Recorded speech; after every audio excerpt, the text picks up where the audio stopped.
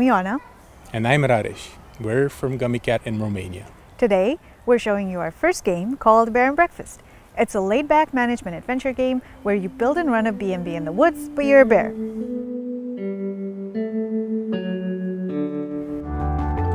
In Bear and Breakfast, you play as Hank, a young, curious bear from Silver Valley who lives in a small home with his mom and two best friends.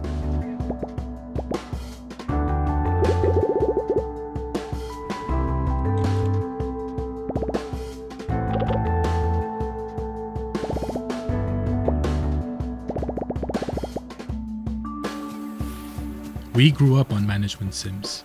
Games like Theme Hospital were big inspirations for us, but we also wanted to make a game that tells a story alongside the usual management stuff.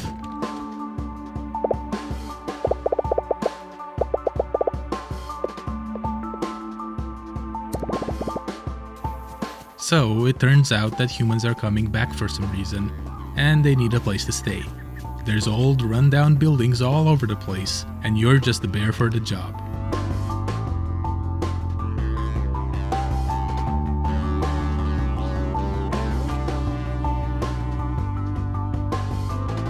The game follows a linear story that you advance by solving quests.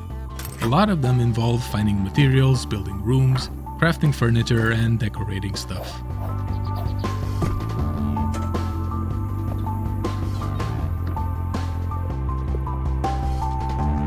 The actual furniture you do make awards different kinds of points. For instance, beds give comfort, showers give hygiene, that type of thing.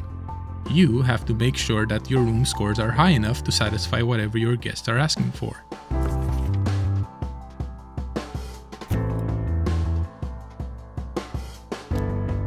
Each type of score comes with its own challenges. For example, later on, you'll need to cook food for your guests through a minigame.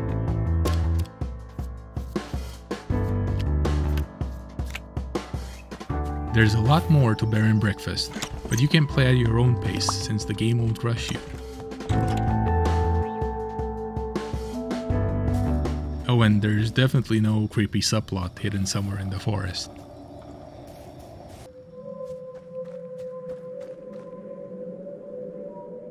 We're very excited to be part of Day of the Devs this year, and we can't wait to introduce you all to Hank and his friends when Bear and Breakfast launches later this summer.